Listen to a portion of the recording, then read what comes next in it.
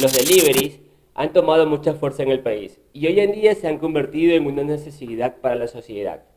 La falta de empleos dignos han hecho que personas creen pequeños proyectos como es el de los vicemensajeros. Hoy en nuestro segmento al pie te lo contamos.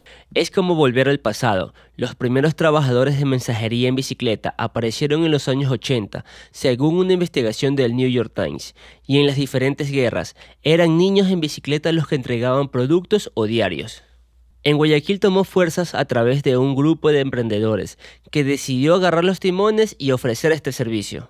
Eh, empezamos con el tema de la mensajería en bicicleta de una forma ecológica. Jaime Sánchez vio en la bicimensajería una oportunidad para salir adelante. Ya cuenta con una red de clientes en constante crecimiento.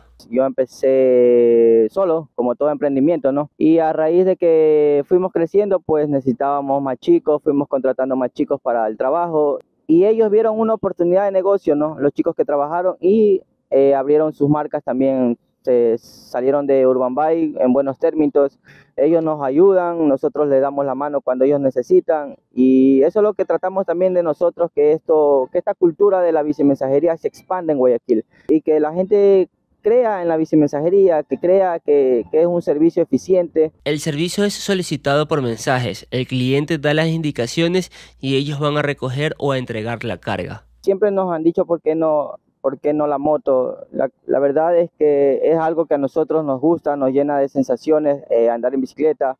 La verdad no, no hay mucho que envidiar en, en, el servicio, tanto la bici como en la moto. Podemos ser más rápidos que la moto incluso en, en el tráfico, ¿no?